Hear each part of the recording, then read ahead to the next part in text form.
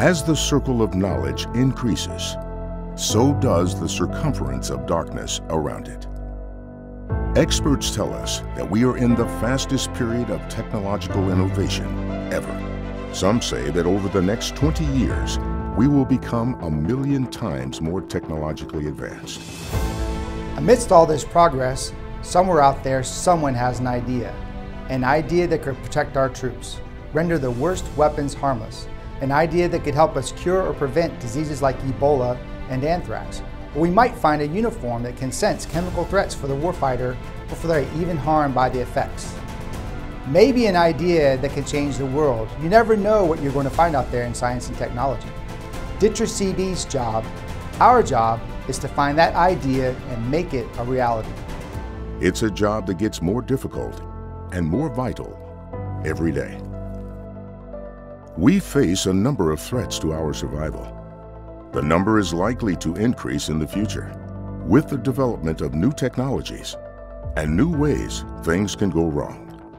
Most of the threats we face come from the progress we have made in science and technology. Consider CRISPR, a new technology that lets us make fast, precise, and inexpensive genetic changes. This technology has the potential to genetically engineer away a host of diseases. However, in the wrong hands, CRISPR has the potential to create new, more deadly biological threats. We have to be able to counter threats like this. We are in a race, perhaps the most important race we've ever run. Light racing darkness. We win this race by out-innovating those who threaten us. In order to outrace the threats against us, we have to first know when we are at risk.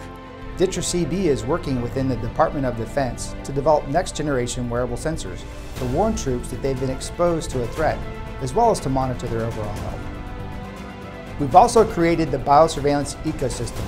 This prototype system makes forecasting disease outbreaks similar to predicting the weather. It provides our leaders and warfighters a real-time, early warning of any biological threat. Next, we need to know what we are up against. Faced with the possibility of both naturally evolving and genetically modified diseases, we need to quickly and accurately identify the threat. We've developed EDGE, a fast, easy-to-use device that can be deployed on the front lines to identify a threat down to its genetic makeup in minutes, as opposed to today's technologies that could take days or weeks. In this new era, we have to expect that we are going to come up against new threats, things we haven't faced before. We must be able to quickly and effectively respond to these novel threats. We're developing a technology that enables us to test new drugs in test tubes, reducing the cost and time needed to conduct clinical trials. This same technology can also help us develop drugs to cure and prevent diseases of all types, faster, cheaper, and better. ADM, the Advanced Development and Manufacturing Facility, allows us to rapidly produce medical countermeasures for warfighters facing threats. In collaboration with our DoD service laboratories, we built a science and technology infrastructure ready to meet surprise. These are some of the innovations that DTRA CB is developing now, today.